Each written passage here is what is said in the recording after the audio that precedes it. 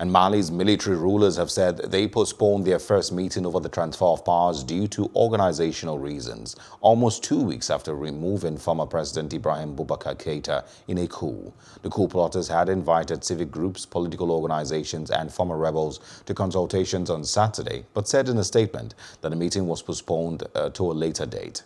The army officers have promised a transition to civilian rule, though without a timetable. Ours after taking power, they had said that they would stage elections within a reasonable time.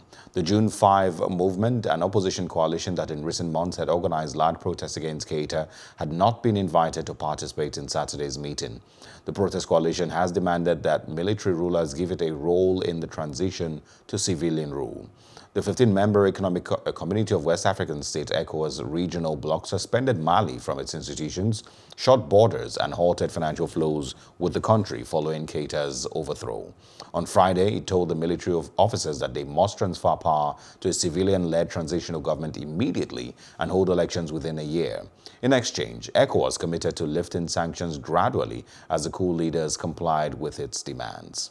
And we're now joined by Tidiani Togola, CEO Tuwindi from Mali, and Imoh Edet, a journalist based in Senegal. Thank you both for joining us. Thank you for having me.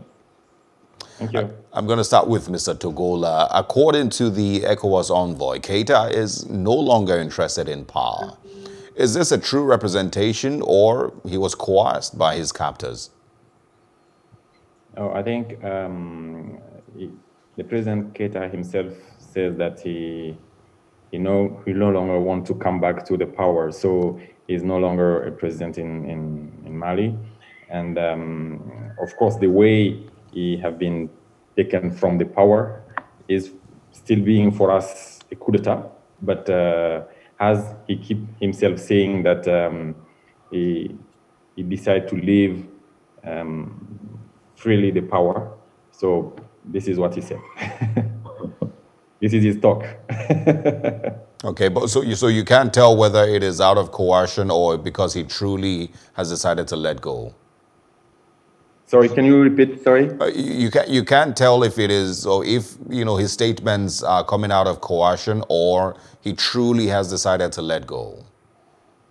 Yeah, I think it, we cannot say that very clearly because the way things has happened, it's a little bit complicated to, to, to, to say that. The only thing that we can notice here is to observe that the president uh, decided to leave the power and, um, and uh, ECOWAS has uh, tried to take him back to the power, but unfortunately he, he said, no, he will not, okay. he will not come back. So this is a, this is the situation for now. He is now uh, free. He's back home and uh, and safe. All right, Imoh Edet, uh, tell us how realistic uh, the 12 months ultimatum issued by ECOWAS really is. I, I see it, um, it, it. may be challenging for the junta because already there were speculations that they wanted uh, to be there three years to be able to fix the issues in Mali uh, for, for one year, um, it may be difficult, though there are, there are clauses that may see the one year being extended. And from what we know here is the fact that the coalition and the June 5 members, uh, they don't really care about whether it is one year, two years, or three years. All they want is for the problem and issues in Mali to be identified and fixed before any election is held in that country. So uh, there is a possibility that there may be an extension an extended um, the period beyond the one year. I don't see the one year holding any waters.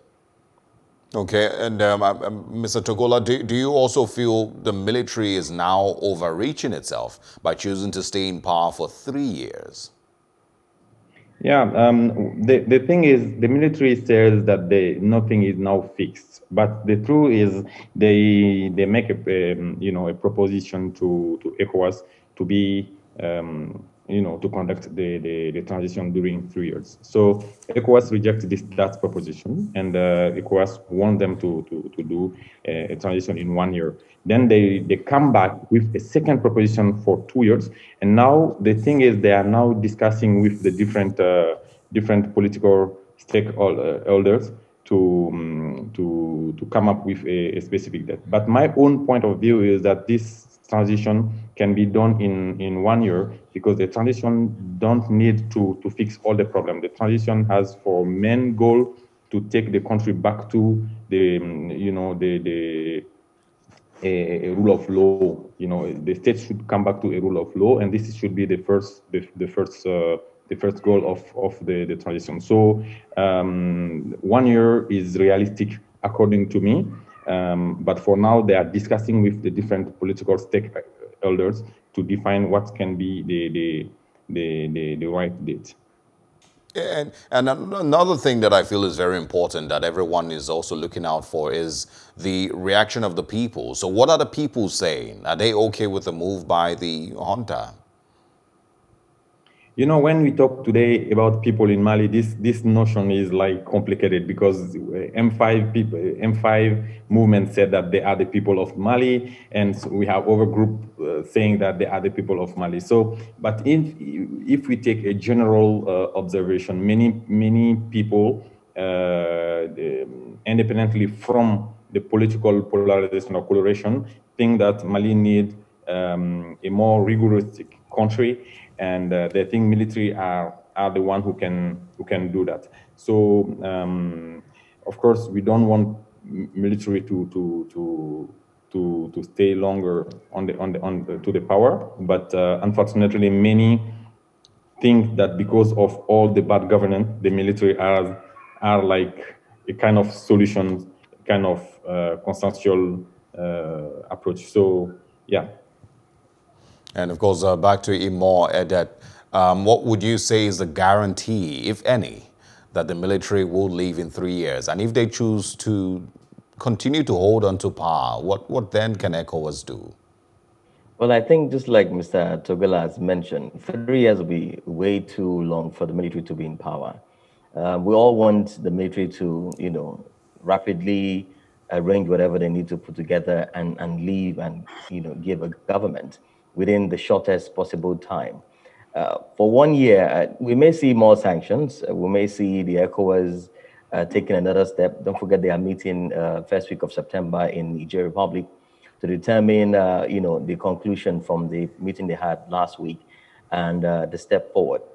It's it's going to be a very dicey situation for ECOWAS in this regard because ECOWAS, for me, had all the time in this world to have resolved the issues before the junta came in. I mean, in, in some of the protests, uh, we heard uh, from, uh, uh, from the popular uh, Imam, Imam Dicko, and he clearly warned um, IBK, as he's called in Mali, to listen to the voice of the people and do the needful. I mean, the Imam saw this coming. He knew all of this were going to happen. And that's why he has decided to just lay low and allow the whatever will happen to happen. He sent the warning earlier. But I think um, the president really he didn't listen, and as a result of that, we have what we what we are seeing on ground now. So ECOWAS will find itself in a very dire situation, and they may not want to go against the wishes of the people, just like Mr.